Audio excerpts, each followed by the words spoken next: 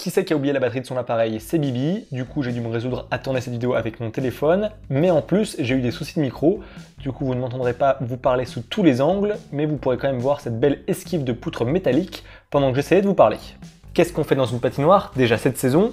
Et pour ce match de hockey entre les brûleurs de loup de Grenoble et les aigles de Nice, ça en jette toujours les noms d'équipes au hockey, on a aussi les dragons de Rouen, les gothiques d'Amiens ou encore les lions de Lyon.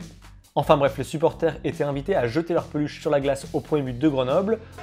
Avec Champagne ouais, qui prenait un peu trop son temps. Ah, et le but but Oui, le but Ah, l'égalisation sur cette passe Et de Joël Champagne. vole sur la patinoire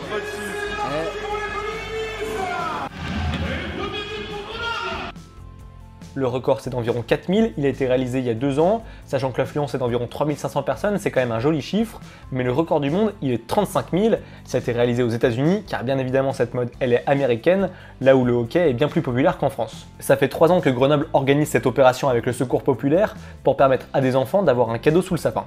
Tout le monde a une peluche en trop qui traîne chez soi et c'est quand même un joli geste à l'approche des fêtes. Pour l'occasion, la boutique officielle faisait une réduction sur la peluche de Jeff, la mascotte officielle des brûleurs de loups.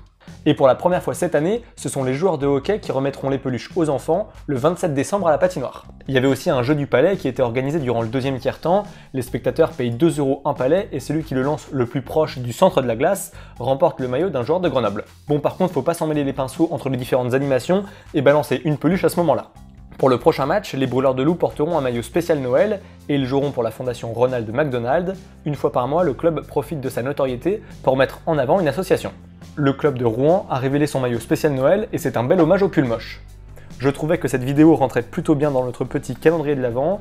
N'hésitez pas à vous abonner, à liker, commenter et partager. Quant à nous, on se retrouve dès demain pour une nouvelle vidéo. D'ici là, portez-vous bien et tenez-vous informés. Victoire